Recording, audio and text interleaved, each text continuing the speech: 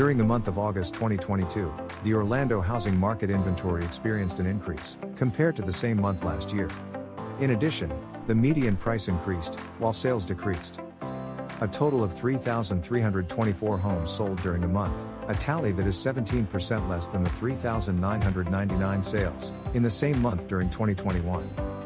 The median price of an Orlando home sold in August 2022 was $377,750, which is an 18% increase compared to the same month last year. The limited number of homes available for sale in Orlando is still a challenge for buyers. Compared to the same month in 2021, the number of homes on the market increased by 86%. Compared to the last month, there are 4% more properties available. There are currently 6,762 homes listed for sale. Whether you're looking to buy, sell, or rent, contact a realtor today so you can get moving.